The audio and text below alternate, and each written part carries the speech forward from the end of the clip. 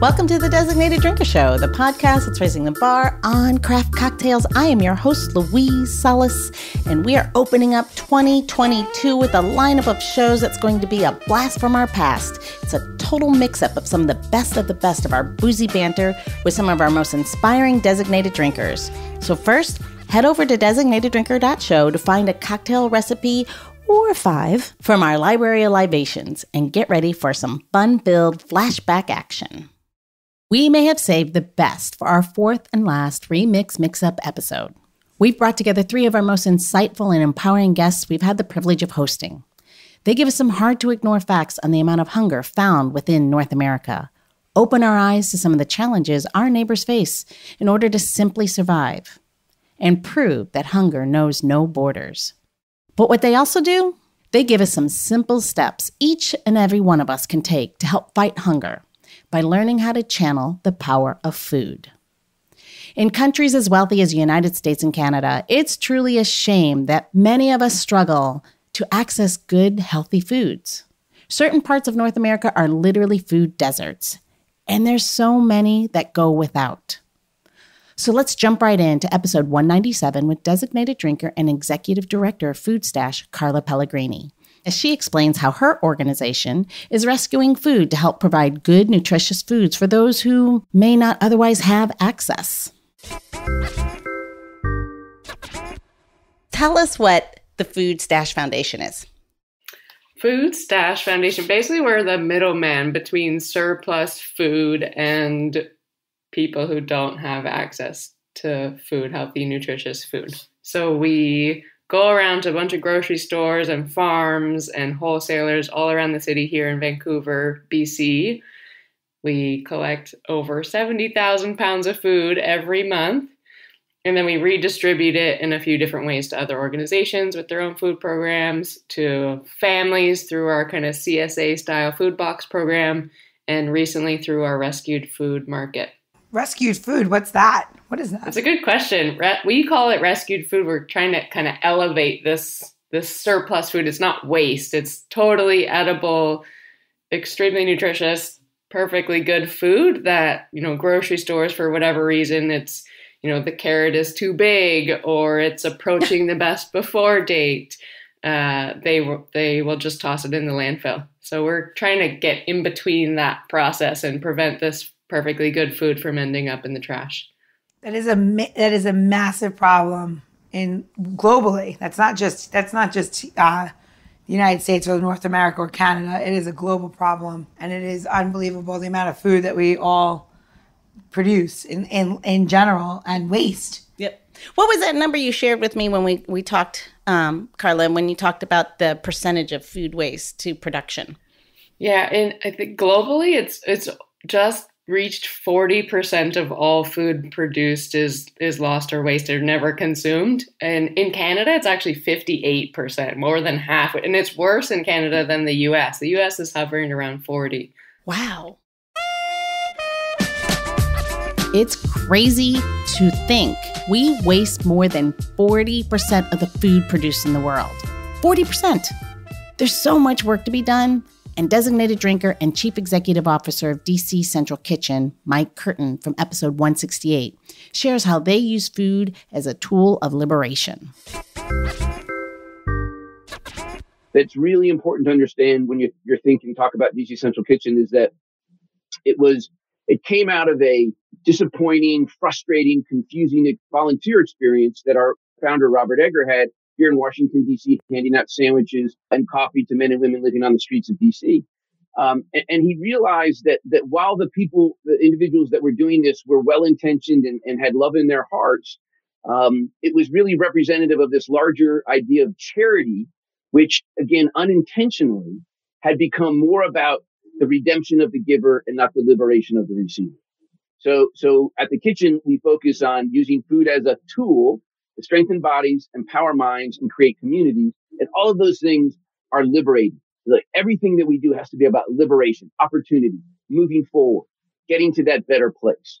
Uh, so ultimately, that's why instead of focusing just on food, we've really focused on training, culinary job training, working with individuals who have faced immense barriers to employment, like histories of incarceration, addiction, trafficking, abuse, homelessness, or other traumas to get them jobs in the hospitality industry so they can uh, have self sufficiency moving on to that that better place. In a nutshell, that's the kitchen. I think it's amazing when we spoke earlier um, a couple of days ago. You were telling me that it was the the it's using the power of food, and that it's that com- in what you just described, combining nourishment, nourishing the body, which obviously people who are hungry need this is obviously for life death situations, of course. But to your point, how do you help them move on beyond where they are? So that I, I, I think it's amazing when you when you said you can't feed away hunger. For me, that was just like eye opening because eh, without giving somebody the tools in which to be able to move forward and move on and be able to be self-sustaining you are not you're well, it's a band aid, I guess. And it's it, when sure. you describe it to me, it's amazing. I, it, it really was eye opening. So uh, thank so you. It, it, it goes back to the old proverb that's been co opted by just about everyone. It depends what refrigerator door magnet or bumper sticker you read. It could be a Chinese proverb, it's an African proverb, it's a Middle Eastern proverb. But give someone a fish, feed them for a day, teach them to fish, uh, feed them for a lifetime. Uh, but we, we we think in, in, terms of what I mentioned that we're, we're we're a social enterprise. So we we actually run businesses. We earn over half of our income through catering food contracts, our locally sourced scratch cook school food business, our wholesale business. Um, so we're really, we can feed people, sure, we can train people, but then as an old Jesuit priest uh, said to me when I was at high school at Gonzaga, he, he said, that's great, but what if all the fishermen are unemployed? So like, hmm, okay. So we have to create, we have, so basically we have to figure out a new way to fish to go back to our your introduction and and um, in our time in New Zealand there. So uh, we have to create opportunities for these individuals to become employed and to challenge the systems that have kept them unemployed today. So that that's really where, where we're our focus is going forward. Using food as a tool. It's such a simple but amazing strategy. So simple. To not just provide nourishment, but to help people heal and gain the skills they need to get better jobs, which all can lead to helping people live better lives. Now that's truly amazing. In this bit, Gina poses a very interesting question, which, in my opinion, goes to prove that each and every one of us can do something to help the cause. They're working on a study now about like um, cleaning products during the COVID. pandemic, yep. right? There was never a reason for anybody to do what they did, but people got so nervous they hoarded it. Yep. And I I know some people that are sitting on stuff they bought in 2020 yep. and they'll never go through all of it until like 2024. Yep. And they did it with canned food and stuff and then they wasted it and threw it out. You know, I, I'm, I'm asking you, do you think it's those stores that did it? Do you think it's the giant like refrigerators you have in your house now that become as part of the problem? There's definitely part of the problem that's happening at the household level for sure. Like you you go to the grocery store and have no idea what you already have at home, so you just buy brand new groceries for the week or for that meal or whatever.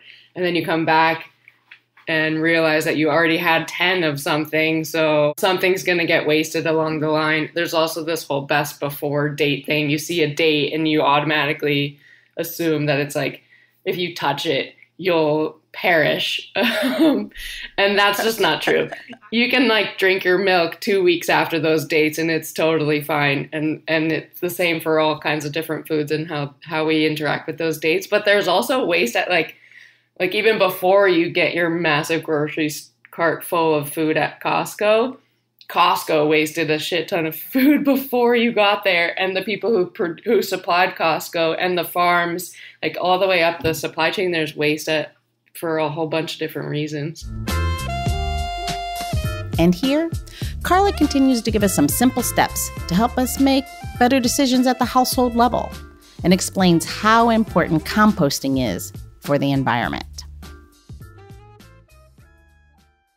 There's a lot that we can do as individuals. Correct me if I'm wrong, Carla. I'm sure you will. That we can do on a legislative le- level. You need to be involved and vote and push those agendas forward and support those agencies that are doing so. Yeah. What do we do? What do we do?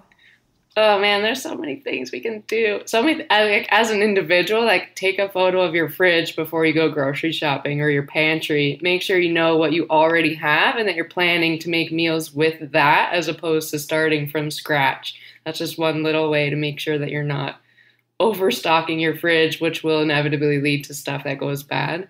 Um, yeah, and then just meal planning in general, like don't blindly buy whatever looks good at the store. Don't go to the store hungry. Try to have some sense of your meals in mind and buy only the food that you need to make those meals. And then the whole best before date thing is like just be willing to use your senses before you just blindly chuck something in the trash or or ideally in the compost if you are going to throw it away. Um, you know, smell the milk do the the water test with your egg. If you think your eggs are are old, put it in a glass of water. If the egg sinks, it's still perfectly good. There's lots of little things like that that we can do at the household level. That's a good trick. But systemically, yeah, for sure. Like there needs to be more pressure higher up in the supply chain to reduce the amount of waste that's happening right now. Expanding on the idea that one man's trash is another's treasure, both Carla and Mike explain how thinking outside the box can truly make a difference.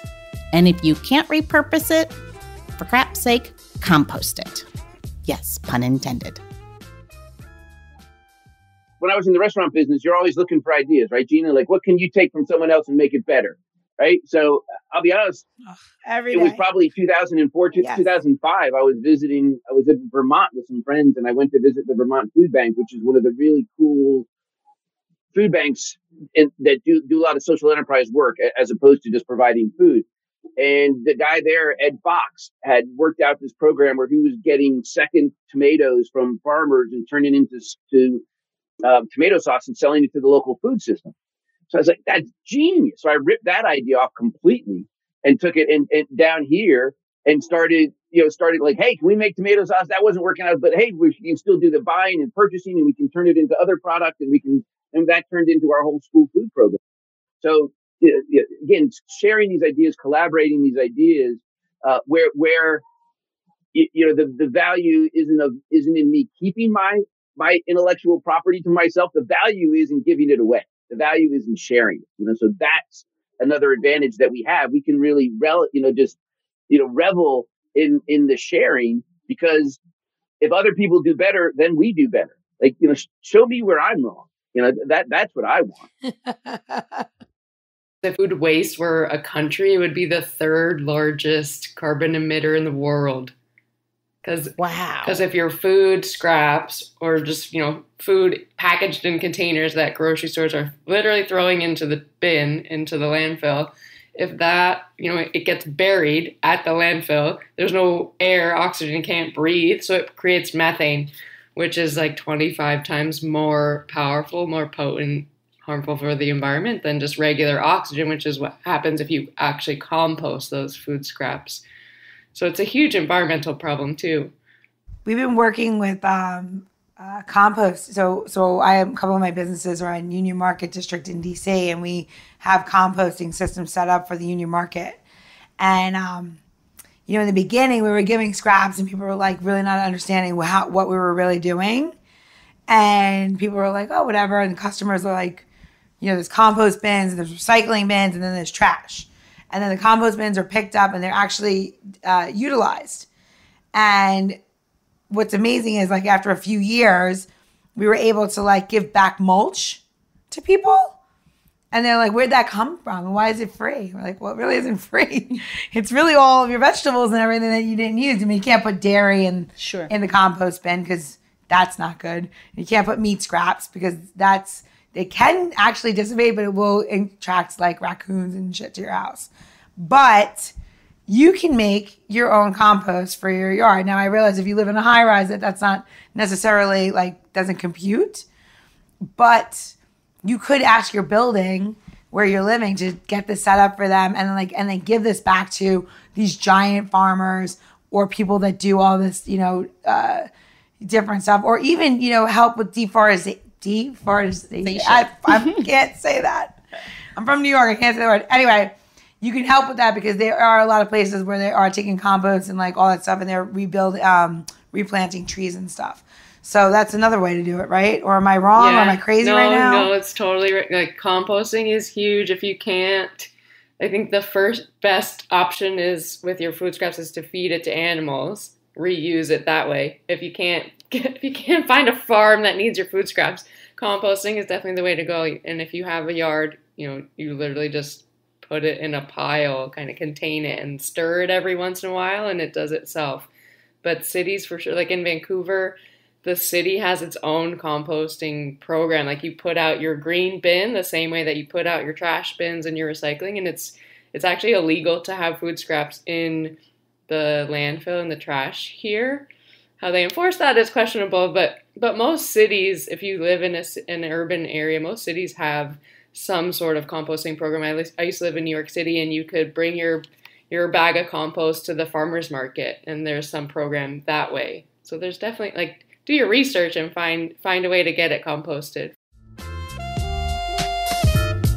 And talking about solutions, here's designated drinker Debbie Shore from episode 156, breaking things down and sharing how her organization, Share Our Strength, is breaking down barriers surrounding childhood hunger by providing access to nutrition that so many families so desperately need. Louise, you said at one point uh, when you opened up just how dire the situation is. And that's true. Although I would say that the one, you know, kind of bright spot, not that there's a bright spot in this pandemic, but the one positive that I can point to is, you know, childhood hunger, unlike so many issues that we care about, um, has a solution. And it's, it's, you know, the solution really is about access and connecting kids, um, connecting a hungry child. And this country has enough food and enough programs and enough services to do that. What we do uh, at the No Kid Hungry campaign is figure out whatever the barrier is, right? So our funding goes to literally hundreds and hundreds of organizations around the United States, everything from schools right now, because schools had a pivot from feeding kids in school, right? That the core of our campaign was always around leveraging uh, meals at school, you know, for school breakfast and after school meals and summer meals, right? And then when schools closed, we had to pivot really quickly. And we were able to provide meals outside of the school for families to come and pick it up, but also, you know, food banks and shelters and feeding programs and pantries, um, boys and girls clubs, and, and whatever that, uh, you know, entity needed, whether it's, you know, PPE for the deliveries, whether it's transportation, whether it's, uh, you know, carts or um, you know, whatever materials that that school or that center needs, we're on the ground to, to provide it. So our job has really been to understand the barriers around access and to knock those barriers down. And that's what we've been able to do. We've um, we've just invested by the end of 2020, since the pandemic started, we've done about $55 million in emergency grants wow. around the United States to like That's more than amazing. 1,700 organizations around. See, like I said, we were all going to get inspired. That is amazing. Well, you know, the the the thing that inspires me about this issue is when you understand why kids are hungry in America. Um, again, we don't have a drought, we don't have a civil war, thank goodness, and and we have plenty of food. So it's really about connecting them to the food that they need, and and we can do that through all the great services. Uh, you know, here in DC, there are just so many entities that are feeding kids right now. Um, and and Share Strength is on the ground, meeting people where they are, meeting kids and families where it's needed.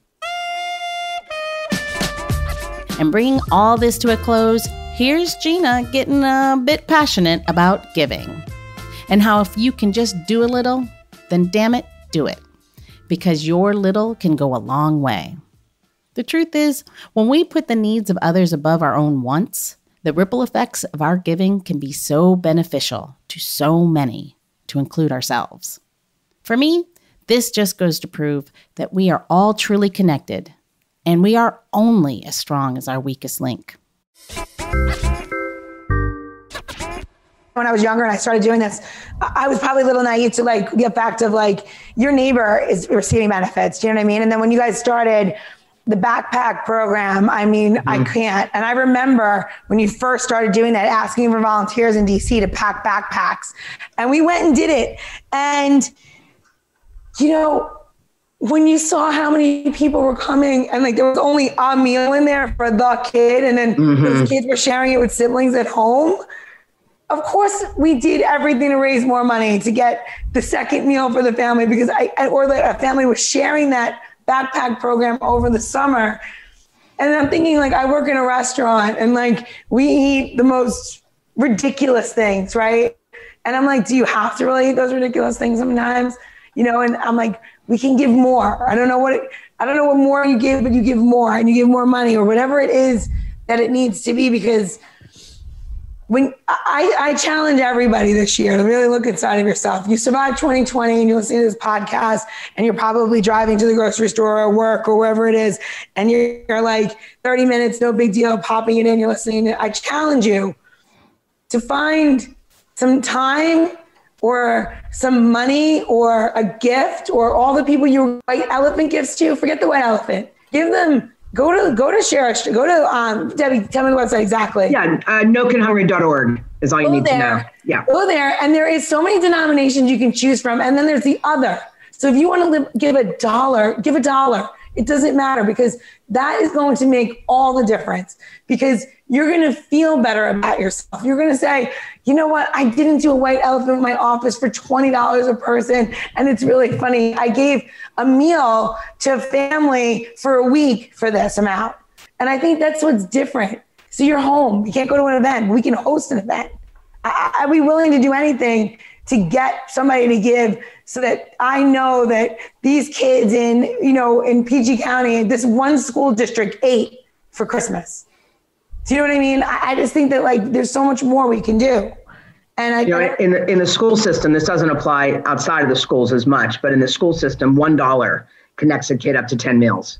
So that's a great, you know, that's a great equivalency for people to know. Um, uh, again, that's not necessarily the, the, the same equivalency outside of the school, but in the schools where we do a lot of work, one dollar connects a kid up to ten meals.